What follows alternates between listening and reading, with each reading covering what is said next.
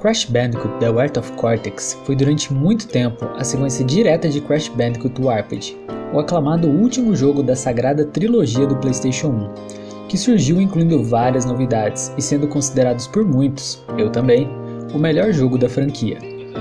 Até que no ano de 2020, nos foi apresentado Crash Bandicoot 4 It's About Time, descanonizando totalmente esse jogo da franquia principal.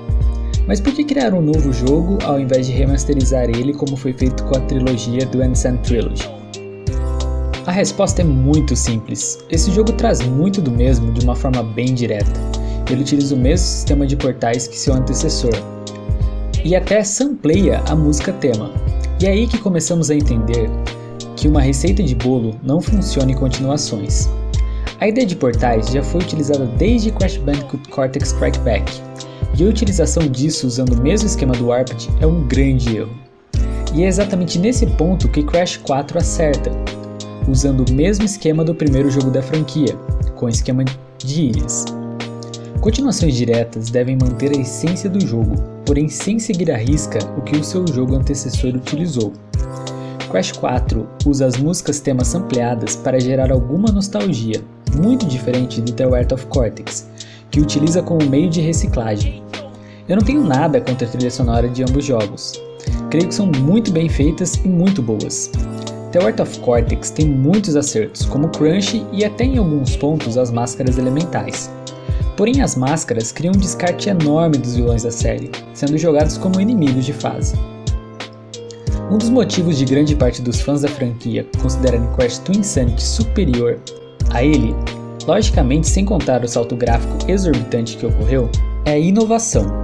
Twin Insanity explora dimensões diferentes, passados de personagens como Cortex, unindo o vilão e o herói e até humanizando mais o próprio vilão, mostrando que Cortex se importa com sua sobrinha, a Nina.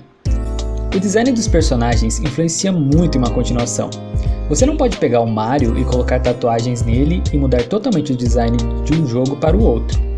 Como dito atrás, a essência tem que ser mantida. Se você pegar os modelos de Crash 4, Art of Cortex e Twin Insanity e comparar, vai ver que Crash 4 e Twin Insanity têm um design mais similar ao Warped, o que leva o jogador a ter uma familiaridade muito melhor e maior com o personagem. Continuações têm duas opções, ou inovam totalmente, o que é muito arriscado, como foi visto em Crash Mind Over Mutant e of Titans, ou reutilizam conceitos já utilizados de forma criativa e geram resultados satisfatórios, ambos sendo arriscados, porém a primeira opção tendo risco maior de rejeição. Devo lembrar que Crash 4 também utiliza o conceito do The Art of Cortex, como as quatro máscaras, mas dessa vez colaborando com o herói, assim não gerando descarte de vilões, e a bola de hamster. E ele até deixa algumas homenagens com algumas referências às máscaras elementais. Continuações têm um peso muito grande, sempre com muitas expectativas. Podem falir uma franquia ou levá-la à glória depois de muito tempo. Bem, esse é um vídeo curto no qual eu faço algumas análises e deixo um pouco da minha opinião sobre jogos. Espero que tenha gostado do vídeo. Se você gostou, deixe o like e se inscreva no canal. Obrigado por ter assistido o vídeo.